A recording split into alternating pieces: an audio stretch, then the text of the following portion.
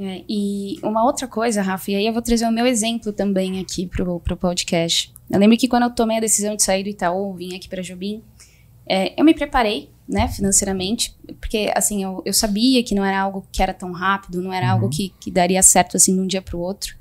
Mas uma coisa que eu tive que aprender, né, então, assim, sendo sócio de um negócio, tendo que fazer a sua própria renda, é a importância do orçamento, né?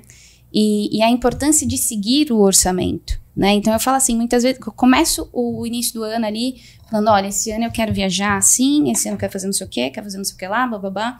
E aí durante o ano eu vou vendo que, sei lá, vai surgindo outras coisas, vai muitas vezes assim, aquilo que você tinha programado sai do, do, do, do programado. Uhum. Porque eu falo assim, eu, eu descobri que eu sou muito cartesiana. Assim, eu preciso, eu preciso ver e eu preciso seguir.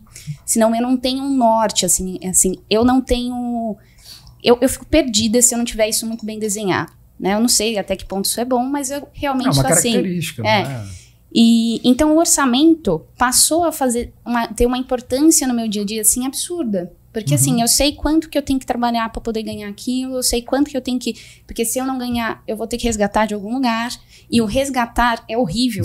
É, é péssimo. Porque Dói. assim. Porque tá fugindo ritmo, da né? sua meta é. lá no futuro também. Entendeu? É. Vai, vai quebrar o ritmo da sua meta no futuro.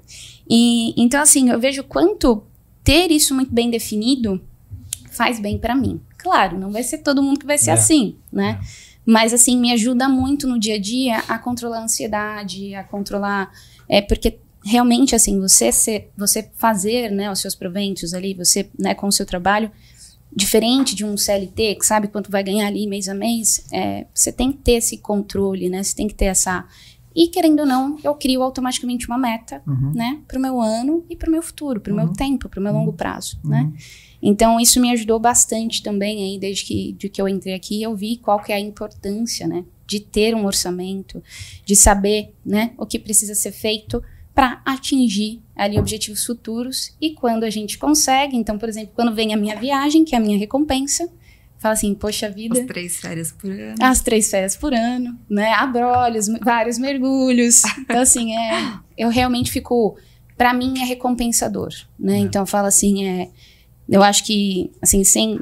Acho que toda essa trilha, né, que a gente estuda, tudo que a gente estuda acaba nos ajudando no dia a dia, né? Uhum. Mas eu acho que é importante também aí dar nossos exemplos para para poder, né, tanto, até para gente que é. estuda e que vive isso é importante, imagina para quem está de fora e lida com outros tipos de conhecimento. Exatamente. É, é, isso, você falou ali né, agora do, ah, mas tem algum mês que quando a gente resgata e eu completei de que, pô, quebra um ritmo, né? É. é eu sempre falo que antes da gente lidar com o número, a gente está lidando com o ser humano, né?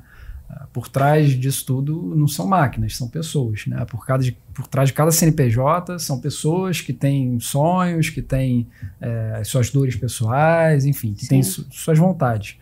É, quando você, às vezes, falha, é, porque de repente foi um mês de entre safra, principalmente profissional liberal, né? Porque às vezes foi um, um mês mais de entre safra, de repente um médico que não conseguiu tirar tantos plantões que imaginava, ou, enfim, não importa. É, mas que foi alguma coisa que foge do seu controle, é claro que é, é, é, desconfortável.